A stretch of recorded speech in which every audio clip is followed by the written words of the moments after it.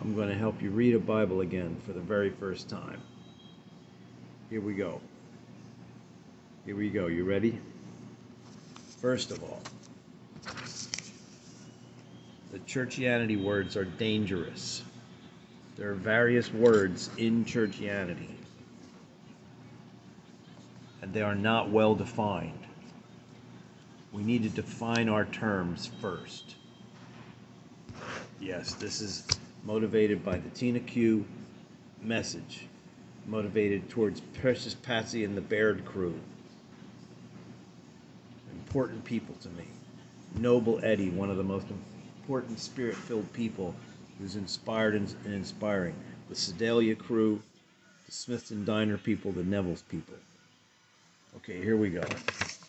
I'm going to help you read a Bible again for the very first time. Churchianity words are dangerous because they are often not well defined.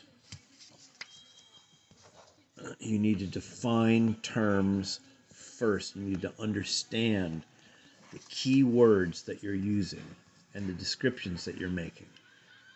Because the leaders and the pastors and the parents and the friends and the people have all been using these terms but there is not a clarity on some of them. Okay, so number one, we're going to define essential terms. Number two, you're going to hear the stories of what I've learned from six different types of church gatherings that have different strengths, and they ignore the strengths of the other churches. You're going to hear the heavy problems that I faced over the past 30 years. And you're also going to hear an outline, a disciple house setup, a fun way to set up a disciple house. Turn your apartment or home into a, a house. Okay, now,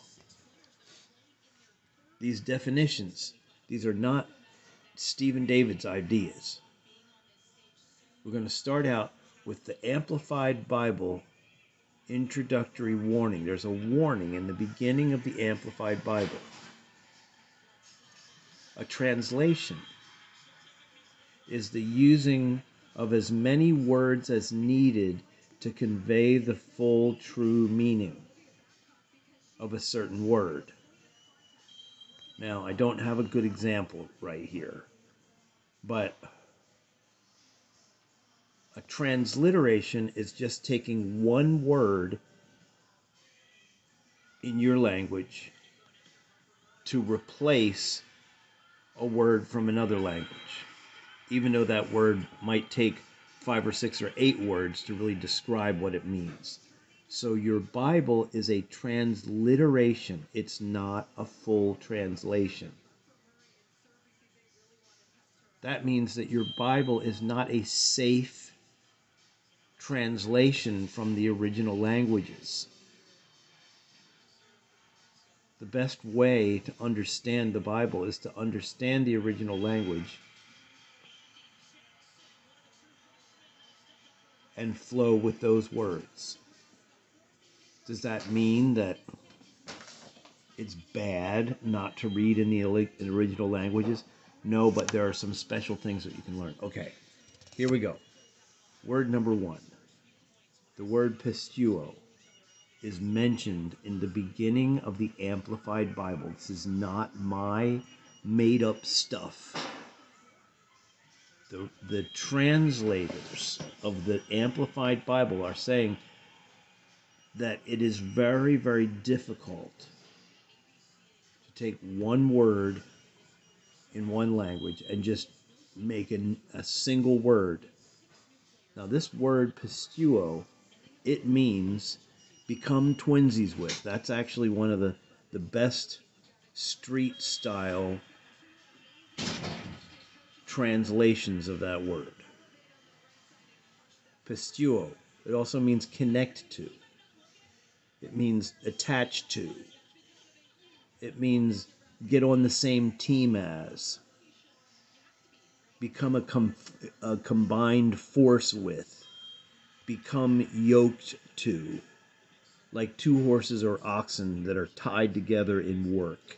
pisteuo, become twinsies with, connect to, attach to, cleave to, like two parts of a cloven hoof, exactly the same shape stuck together. So pisteuo means become parallel in work, existence, and appearance to someone else. It literally means to team up with. Okay, now this word pisteuo is translated into English in most Bibles. It is translated in the one word believe.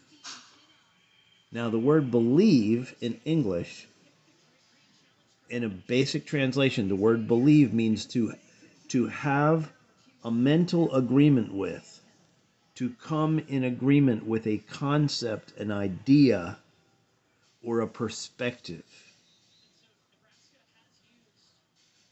It means a mental agreement with something. But it does not mean become stuck to, become yoked to, become an imitation of. So the word pisteuo is really rich. So that word pisteuo is in the most popular churchianity verse in the whole Bible. Whosoever believeth in him shall have everlasting life. Churchianity words are dangerous. Whosoever pisteuo him shall have everlasting life. Whosoever become twinsies with him, whosoever connects to him, whosoever becomes yoked to him like two horses or oxen tied together in work, whosoever cleaves to him like two parts of a cloven hoof, whosoever becomes twinsies with him will have everlasting life. That is a very intense statement. This word implies total connectedness, total parallel existence, and literally connected with the same work. Become yoked to, like two horses or oxen tied together in work. Okay. So these are not my ideas. These are not my ideas. These are serious, interesting concerns that came to me. Now, for example, this word pisteuo, it appears in this passage of second of John chapter 2 verse 24. But Jesus did not pisteuo commit entrust himself unto them because he knew all men. That's very interesting. It doesn't say Jesus did not believe them. But what's saying is Jesus did not become twinsies with them. He did not connect to, attach to, become yoked to, cleave to. He did not cleave himself unto them because he knew all men. He knew that men are messed up and wicked. This word pisteuo is very, very deep and intense. If I have told you of earthly things and you do not pisteuo, you not you do not become twinsies with my presentation, how will you connect to what I'm saying if I tell you of heavenly or supernatural things? If you're not even connecting with the material things, how are you going to connect with the supernatural things? This is not just a mental agreement, this is becoming attached to becoming connected with, becoming yoked to. All right, so we're just starting. Go to Blue Letter Bible. Go to John 3:16. Scroll down until you see the word pisteuo. Then hit tools. And hit concordance. And you can just actually read every place where that word pisteuo is used. And you can start replacing it with the true meaning. Become twinsies with. Becomes it actually makes your Bible come alive again for the very first time.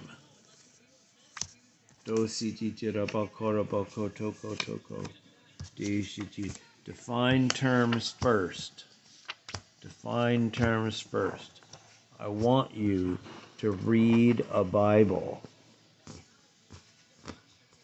I want you to read a Bible again for the very first time using some of these definitions. I'm going to start hitting with you with a handful of definitions. Here we go.